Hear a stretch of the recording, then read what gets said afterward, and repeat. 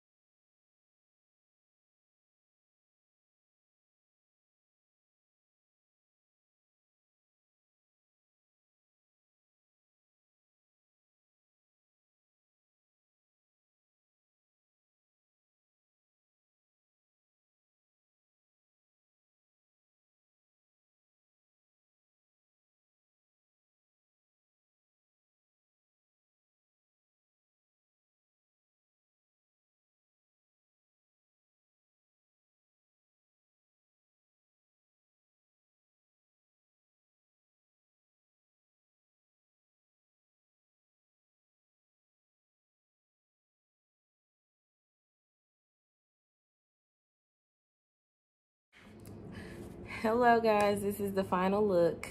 It is nothing too much, just enough. I even threw on a hat, okay? It's that serious today.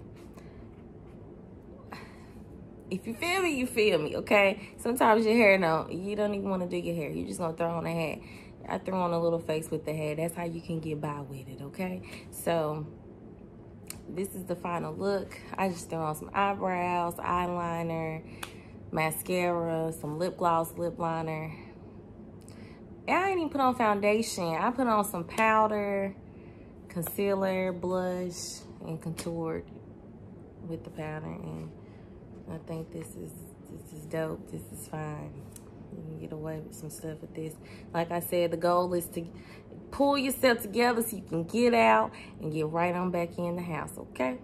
All right, so I hope you guys enjoyed the video.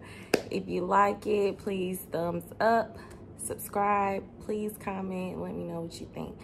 And I just love you guys. Thank you, thank you so much. Until next time.